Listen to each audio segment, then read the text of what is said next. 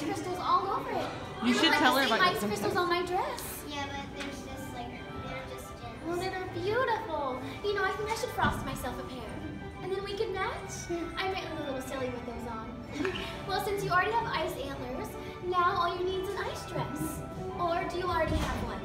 Well, I, I did. It was on my- Did you spill your hot chocolate all over yours too? Uh-huh. Like Anna? Yes. Oh, no. Yeah. That's what happened That's to Anna's okay. ice dress. Yeah. That's okay. Well, maybe I love to. Maybe you can visit us in Arendelle and I can build you one. Yeah. Of course, after all, the gates are always open now. Here, why don't you come stand next to me, Snowflake?